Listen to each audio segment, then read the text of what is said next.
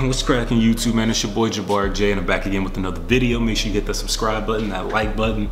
Leave me a comment in the comment section. All right, today's topic is why did I branch? Why did I choose to branch transportation?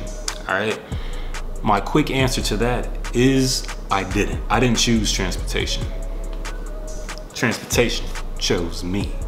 but nah, like on the real, for those who know, I graduated with a Bachelor's of Science in Criminal Justice, and I also interned with the Federal Law Enforcement Agency. So it's pretty safe to say that I wanted to branch MP. I wanted to be a military police officer.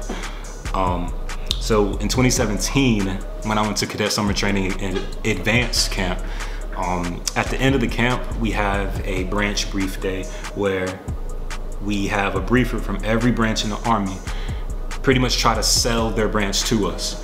And the, the, uh, the MP branch briefer, he didn't sell me the dream at all. Um, the only ones that really got me pumped was uh, field artillery, armor.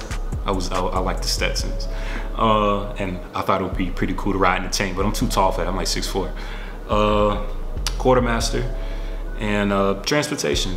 The guy, the, the, the transpo briefer, he, he said yay yay after every single sentence, and I just thought that was hilarious at the time. Um, so yeah, fast forward to my super senior year because I was a senior before. Yeah, so I was at my internship and my PMS, the professor of military science, he gave me a call. And he was like, all right, I got some uh, I got some news. You know, I don't think he said bad news, good news, but uh, he told me I was active duty.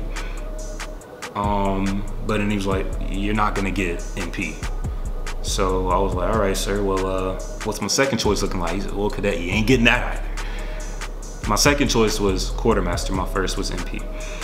So I was like, um, well, sir, what do we do now? And he was like, well, don't worry. The army will find you a home. Which means Godspeed, you're gonna go wherever the army needs you. Um, but I actually lucked up and got my third choice, which was transportation. Now, I don't see how I got denied quartermaster and I got transpo when they're kind of like one and the same because quartermaster, transpo, and ordnance, we all train the same. We go to the same basic officer course. And then once you reach 03, we're all logistics officers. And as a transpo officer, I can actually end up in a quartermaster role. So that just didn't make sense to me, but it is what it is. So fast forward, I commission, I actually go to logistics BOLC for transportation, and um, I absolutely loved it. And in the civilian world, logistics, I, I, I can easily find a job. Um, so yeah, I actually, I have truly like grown to love this branch so far in my short time of being um, active duty. Um, and they actually have like this this this program or whatever uh, with the uh, Florida Institute of Technology, or I think it's like you take seven or 12 classes within a 48 month period. Don't quote me on that number. And then once you go to captain's career course, it's the equivalent to a master's degree in uh, logistics management. So being a, a loggy, I guess it has its perks. And um, yeah, I didn't get my first choice. However, I do believe that I'm where I'm supposed to be. So yeah, I appreciate y'all tuning in. I hope this video was informative. Um, Y'all know I'm an open book. I don't have anything to hide. So if y'all wanna know something, just ask me.